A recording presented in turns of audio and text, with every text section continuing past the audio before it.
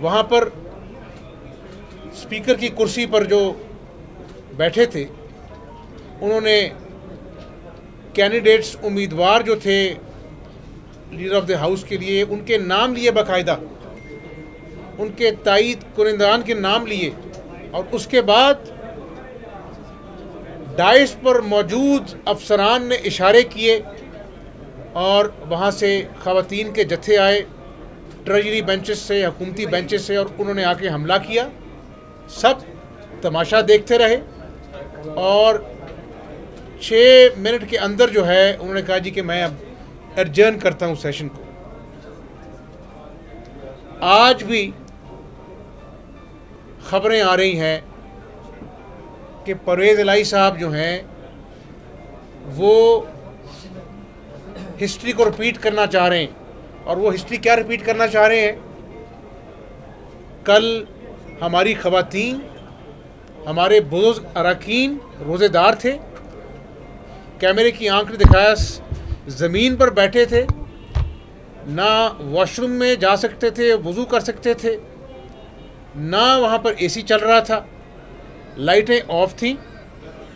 और पुरअमन तरीके से शदीद गर्मी में हम रोज़ा इफ्तार कर कर बाहर चले गए।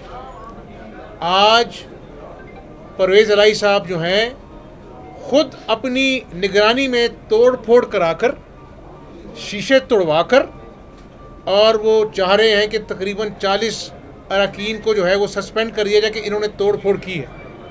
मैं पाकिस्तानी कौम को, सूबा पंजाब की 12 करोड़ आवाम को गवाह बनाकर फरेज राई साहब, मैं आपको वॉर्न करना चाहता हूँ। आपने ये हरकत पहले भी की थी और हमने आपको चैलेंज किया था कि वहाँ पे तो आपके कैमरास लगे होते हैं असेंबली के अंदर। एक एक मूवमेंट चेक की जा सकती है। उस वक्त भी इन्होंने हमारे अरकान को सस्पेंड किया, मैंने बाहर धरना दिया और मैंने कहा कि आप हमें वो फुटेज दिखा दें। मैं खुद अपने अरकान को कहूँगा कि आपने गलत काम किया है। मैंने इनको चैलेंज किया और कोई फुटेज नहीं दिखाई इन्होंने। इनका झूठ उस वक्त भी साबित हुआ। तो परवेज़ रई साहब, ये जो आपके वतीरे हैं ना, ये कौम ने देख लिए हैं। कौम ने देख लिया है कि कल आप हार रहे थे। आपने छः मिनट के अंदर इजलास एडजन करा दिया। सरीहन आइन और कानून की खिलाफ वर्जी की। वो इजलास का जो नोटिफिकेशन है, उसका एजेंडा नंबर वन एक ही था। कि आपने लीडर ऑफ़ द हाउस को इलेक्ट करना था। और मैं यहाँ पर अदालत उज़मा से भी दरख्वास्त करूँगा, क्योंकि उन्होंने सो मोटो लिया है। कल मेहरबानी कर कर इस बात को भी यकीनी बनाया जाए, क्योंकि अदालत उज़मा ने कहा है कि वोट डालना जो है, हर मुआज़ मेंबर का आइनी हक है। तो अगर स्पीकर खुद as a custodian of the house इस राह में रुकावट डाले तो स्पीकर को डायरेक्शन मिलनी चाहिए कि आप हर मुआज़ मेंबर का जो हक है वोट डालना, उसके अंदर आप रुकावट नहीं बनेंगे। और परवेज़ लाई साहब, मैं बड़ी आजी से आपको बताना चाहता हूँ, मैंने पाकिस्तानी अवाम को गवाह बनाया है, मैंने सूबा पंजाब की खसूस अवाम को गवाह बनाया है अदालत उज़मा में कल हमारी पटिशन भी है, कल उस पर हेयरिंग भी होगी। मैंने मीडिया की वसासत से भी दरख्वास्त की है। अगर वहाँ पर कल कोई तमाशा लगाने की आपने कोशिश की तो तमाम तर हालात के ज़िम्मेदार सिर्फ़ परवेज परवेज़ अलाई साहब होंगे।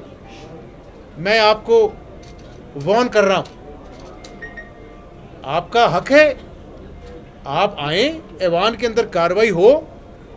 जो ऐवान की अक्सरियत जो है हासिल करे, उसको हम बड़ी खुश दिली से कबूल करेंगे। ये क्या तरीका है कि रोज़ेदारों को आपने गर्मी में औरतों को, बुज़ुर्गों को जो मोज़ अरकान थे, पानी बंद कर दिया? ये कौन सी अपना रिवायत आप डाल रहे हैं? शायद आप इन्हीं रवायत के आदि हैं। मैं गुजारिश करना चाहता हूँ कि ये सूबा जहाँ पर किसान परेशान है, मज़दूर बेरोज़गार है, बच्चे रात को भूखे सोते हैं घरों में, दिहाड़ीदार खाली हाथ अपने बच्चों को जाकर रात को जो मिलता है तो बच्चे उसका, उसके कपड़े नोचते हैं कि, अबू, खाना कहाँ है? मरीज़ आज वो सेहत कार्ड जो उनका जो खेल तमाशा है वो लेके जाते हैं तो डॉक्टर तो उनको बाहर भेज देते हैं कि हमारे पास दवाइयाँ नहीं है, बाहर से जाके अपनी जेब से दवाइयाँ खर्च करो। ये है नया पाकिस्तान। और इनको इकतदार की पड़ी। मैं आज पाकिस्तानी अवाम को कहना चाहता हूँ, कोई शौक़ नहीं मुझे वजी अला पंजाब बनने का। ये एक हमारा मकसद है कि इस ालिम हुकूमत को हमने काली पट्टियाँ बाँध कर हल्फ उठाया कि आप काम करें। और आज मुझे कहने दीजिए कि इसी वजारत आला के सेक्रेटेरिएट में सेक्रेटरी से लेकर डीएसपी और एसओ तक एस एच तक रिश्वत के रेट तय होते हैं। और कल सबक गवर्नर सरवर साहब ने जो बात कही कि रिश्वत का बाज़ार गर्म है वजी अला ख़ुद कैश वसूल करता है, तभी तो लाहौर शहर में, मुल्तान में, कोट अद्दू में, लिया में, घरों में घिस घुस के लोगों को लूटते हैं, रेप करते हैं। कोई पूछने वाला नहीं, कोई कार्रवाई नहीं होती। जब लोगों को रिश्वत लेकर लगाया जाएगा तो उनसे फिर कैसे पूछा जाएगा कि आप क्या काम कर रहे हैं? आप अपनी ज़िम्मेदारी अदा कर रहे हैं कि नहीं कर रहे हैं? किस तरह यहाँ पर चपड़ासियों की तरह। आई को बदला गया। इमरान न्याजी की ज़ाती ख्वाहिश पर। किस तरह यहाँ पर चीफ सेक्रेटरीज के तबादले हुए? इमरान न्याजी की ज़ाती ख्वाहिश पर। इमरान न्याजी, कान खोल के सुन लो। ये 22 करोड़ लोगों का मुल्क है। एटमी कुत है। ये तुम्हारी ज़ाती जागीर नहीं है कि तुम गरीब का झोंपड़ा गिरा देते हो और अपना बनी गाला का घर जो है तुम रेगुलराइज करा देते हो और फिर आवाम को रियासत मदीना का भाषण देते हो। आज तुम कहते हो कि ये अपोजिशन जो है, जिसमें बलूचिस्तान, सिंध, पंजाब, खैबर पख्तूनख्वा के जैत कायद बैठे हैं। आप कहते हैं कि जी, ये बैरूनी साजिश का हिस्सा है। और साजिश तो आपने पाकिस्तान के साथ की है। आप कहते थे कि मैं आईएमएफ के कर्जे लेने से पहले खुदकुशी कर लूँगा। आपने तो खुदकुशी नहीं की। आवाम ने खुदकुशी की। आवाम के बच्चों, माओ ने खुदकुशी की। कि हम अपने बच्चों की भूख नहीं देख सकते और उस दुनिया से कूच कर गए। आपने साजिश की इस सबसे बड़े सूबे के खिलाफ कि वसीम अकरम प्लस को लगा दिया, जिसको पता ही नहीं कि कोरोना काटता है। वो हेलीकॉप्टर में बैठकर मसूफ कोरोना को ढूंढते फिरते हैं। ये मैं आपको रिकॉर्ड की बात कर रहा हूँ, कोई मज़ाक नहीं कर रहा। बारह करोड़ की आवाम का मुस्तबिल आपने दाव पे लगा दिया एक ऐसे शख्स को, जिसको पता ही नहीं कि कोरोना काटता है। ये क्या मज़ाक है? क्या ये मज़ाक काफ़ी नहीं थे? क्या आवाम को महँगाई के चक्की में पीसना काफ़ी नहीं था? क्या एक करोड़ नौकरियों का नौजवानों को जासा देना काफ़ी नहीं था? क्या पचास लाख घरों का झूठ बोलना काफ़ी नहीं था? नए पाकिस्तान पर नौजवानों को ख्वाब दिखाकर उनके ख्वाबों को आज बीच चौराहे चकना करना काफ़ी नहीं था? मैं गली कूचों में जाता हूँ। मैं लोगों से बात करता हूँ, लोग मुझे पकड़ लेते हैं कि हमजा शबाज आओ देखो, हमारे घर में भूख है, मेरी माँ बीमार है, दवाई के लिए पैसे नहीं है। आप क्या कर रहे हैं? क्यों नहीं इस हुकूमत को चलता करते? ये है अवाम के ख़िलाफ़ जो साजिश आपने की है। और हम, मैं आपको ठीक कह रहा हूँ, पाकिस्तानी अवाम, सुन लीजिए, मैं ये काम क्यों कर रहा हूँ? ये बैठे हैं, नुमान लंगड़ियाल साहब बैठे ये ओन साहब बैठे हैं, खालिद साहब बैठे हैं, फैसल साहब बैठे हैं। ये क्यों कर रहा हूँ मैं? यहाँ पर हमारी बहन बैठी है। मैं क्यों कर रहा हूँ ये काम? क्या मैंने सारी ज़िंदगी यहाँ पर ऑपोजिशन लीडर बन के बैठे रहना है? मैंने अपनी कबर में जाना है और क़्यामत वाले दिन अल्लाह ने मुझे पूछना है कि हमजा शहबाज, इस सूबे की आवाम ने तुम्हें 160 मेंबर सबसे बड़ी जमात बनाया और जब मेरी मखलूक भूखी मर रही थी, जब दवाइयों के लिए, माओ के पास, बच्चों के पास पैसे नहीं थे, जब किसान जो था वो खाद को तरस रहा था, जब इस सूबे में करप्शन का बाज़ार गर्म था, तुमने मेरी मखलूक के लिए क्या किया? तो भाई, मुझे कुछ नहीं चाहिए। लेकिन क़्यामत वाले दिन अल्लाह से डर कर कहता हूँ कि मैं क़्यामत वाले दिन अल्लाह के सामने शर्मिंदा नहीं होना चाहता। इस पाकिस्तानी कौम के सामने शर्मिंदा नहीं होना चाहता। इस सूबे की आवाम के सामने शर्मिंदा नहीं होना चाहता। मैंने अल्लाह को जवाब देना है। इसलिए इन मुझे उम्मीद वासिक है कि अल्लाह ने चाहा तो बुध वाले दिन पंजाब असम्बली में इन ऐवान सजेगा और लीडर ऑफ़ द हाउस जो है मोज़ मेम्बरान के वोटों से इलेक्ट होगा और हमारा मकसद कोई इंतकाम नहीं होगा। हमारा मकसद किसी की किरदार कुछ नहीं होगा। हमारा मकसद मीडिया पे आकर अपने वजीरों मशीरों को भेजकर लोगों की इज़्ज़तें उतारना हमारा मकसद नहीं होगा। हमारा एक ही मकसद होगा, मिल बैठेंगे इन साथियों के साथ और इस सूबे के अवाम के दिल जो ज़ख्मी हैं, उन पर मरहम रखेंगे, इस सूबे की खदमत के लिए निकलेंगे और इन पहले दिन से हम लोगों की, अल्लाह की मखलूक की खिदमत का काम अंजाम देंगे। इसी से दुनिया भी मिलेगी और आखिरत में मिलेगी। तो मैं सब बातें आपके सामने रखती हैं। आज मेरे तक मुस्रद ज़राए से इतला आ रही थी कि ये खेल तमाशा परवेज़ अली साहब रचाना चाह रहे हैं। ये आइनी ज़िम्मेदारियाँ हैं मोज़ मम्बरान की। तो मैंने पाकिस्तानी अवाम को गवाह बनाकर अदालत उज़मा से दरख्वास्त कर दी है। कल हमारे वकला पेश होंगे और इन मुझे उम्मीद है कि यहाँ पर जो अदालत उज़मा का एक शॉर्ट ऑर्डर है कि ऐवान की कार्रवाई जो है वो आइन और कानून के तहत होनी चाहिए खालिस्तान वो अंजाम पाएगी और पंजाब की आवाम जो हैं वो परसों इन अल्लाह ने चाहा तो अपने सूबे का लीडर ऑफ़ द हाउस जो है वो इलेक्ट करेंगे इन अच्छा, लग ऐसे रहा है कि जो तसादुम का माहौल क्रिएट किया जा रहा है आज यहाँ पर आपके एम पी रुके हुए थे बाहर आके पीटीआई के लोगों ने एहतजाज किया नारेबाजी की। दूसरा ये कि आपके पास अक्सरियत पूरी थी मतरूबत आलात थी, लग ऐसा रहा है कि हर वो कोशिश की जा रही है कि किसी तरीके से आपको वजी अला पंजाब बनने से रोका जाए। कौन है जिसको आपसे बहुत ज़्यादा खौफ है और इस साजिश का कैसे मुकाबला करेंगे देखें आवाम ने देखा, इन्हीं के नौ रत्नों ने कहा कि कौमी असम्बली में मेम्बरान को दस लाख लोगों से गुजर के जाना पड़ेगा। ये धमकी किसको दे रहे हैं? फिर सुप्रीम कोर्ट ने कहा कि ये आइनी ज़िम्मेदारी है वोट देना।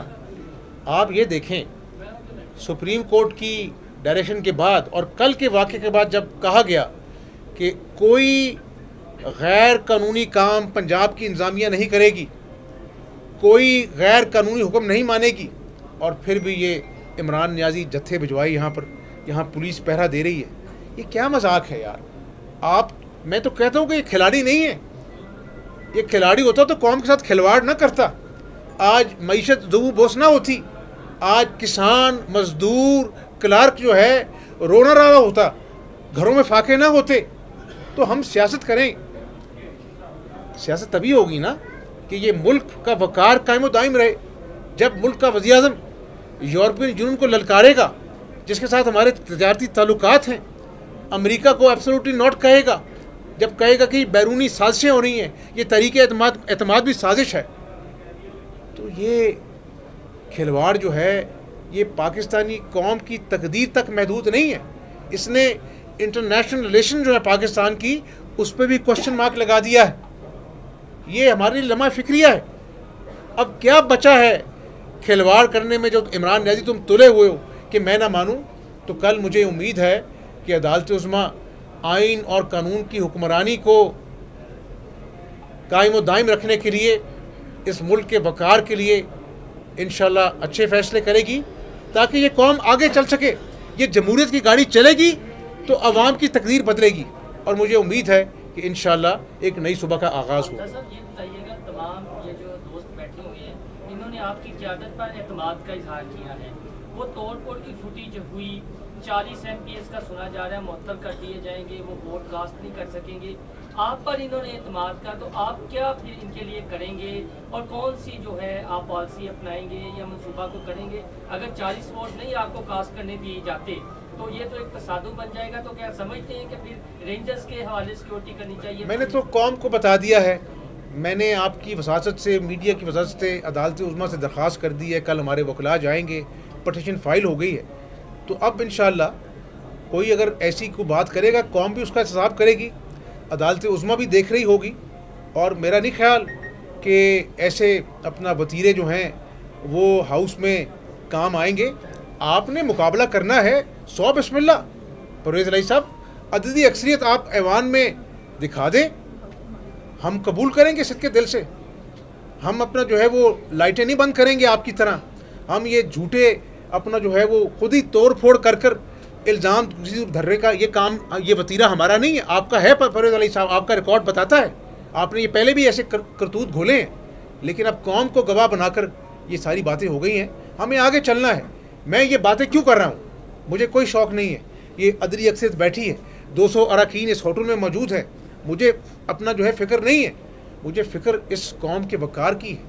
इस सूबे की असम्बली के वकार की है कि कल जिस तरह पामाली की गई और इजलास बुलाकर बग़ैर वोटिंग के अपना जो है एडजन कर दिया गया। आइन को खेल तमाशा बना दिया गया। सदर के जो ऐवान है, उसको ऑर्डिनेंस फैक्ट्री बना दिया गया। तो ये खेल तमाशा ना लगे। तो मैं इन अपना आइनी किरदार अदा करूँगा और पाकिस्तानी कौम को बताना चाहता हूँ कि मैं सबर का दामन नहीं छोड़ूँगा।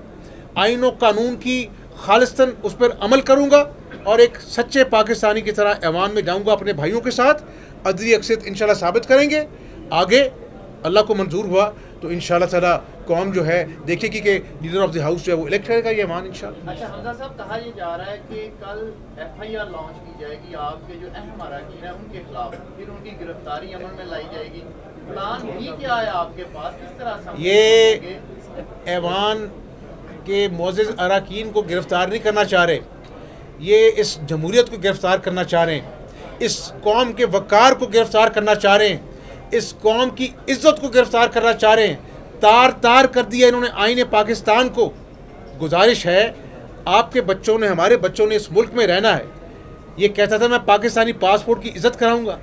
क्या पाकिस्तान के दोस्त ममालिक को जलसों में ललकार कर, ये कौन सी सफारती मदद कर रहा है पाकिस्तान की? ये तो दुश्मनी कर रहा है पाकिस्तान के साथ। तो इन अल्लाह ताला का कानून चलेगा और अल्लाह के फजल से कौम जीतेगी और इमरान न्याजी की अना वो है वो हारेगी इन आपके साथ और अलीम खान साहब के साथ। उन्होंने भी आप सच बोला है। कल आपने भी सच बोला था तो अब वो बयानबाजी कर रहे हैं आप दोनों सियासतदानों के खिलाफ। तो मोहन सलाही आपके दोस्त भी है क्या पैगाम? मैंने बयानबाजी नहीं की। मोहन सलाही साहब कभी मेरे दोस्त नहीं रहे। आपको किसी ने गलत इन्फॉर्मेशन दी है। देखें इन तमाम चीज़ों के बावजूद मेरी नेक तमन्नाएँ हैं सबके साथ। एक पाकिस्तानी की तरह। हम अच्छे इंसान बन जाएँ इस दुनिया में तो बहुत बड़ी कामयाबी है। कामयाब सियासतदान बना कोई कामयाबी नहीं है, अगर आप अच्छे इंसान नहीं हैं। रोज़ मैं अपने आप से जंग लड़ता हूँ कि मैंने अच्छा इंसान बनना है। तो इन अल्लाह ताला खैर करे। मैंने अपने तहफ़ात पाकिस्तानी कौम के सामने रखती हैं और मुझे उम्मीद है कि इन पाकिस्तानी कौम की जीत होगी, आइन और कानून की हुक्मरानी की जीत होगी और पाकिस्तान को इन ताला, अल्लाह ताला कायद अजम का खुशहाल पाकिस्तान बना अच्छा, बहुत शुक्रिया। सफारतकारों से मिलने पर गद्दारी के इल्ज़ाम लगाए जाते हैं खान साहब की तरफ़ से। आप भी मिलते रहे आप पर भी इल्ज़ाम तो अब आएगा। जी। वो आज मुझे अलीम खान साहब बता रहे थे कि मेरे पास रिकॉर्ड मौजूद है कि जब मौसूफ इमरान न्याजी साहब डिप्लोमेट से मिलते थे तो मैं मीटिंग्स अरेंज कराता था। तो यार बस बहुत हो गया इमरान न्याई साहब। अगर आपको अपने ऊपर रहम नहीं आता तो इस मुल्क पर रहम करें। इस मुल्क की आवाम के मसाइल कुछ और हैं। बेरोज़गारी है, महँगाई है, इस मुल्क को आगे चलने दें। बहुत शुक्रिया आपका।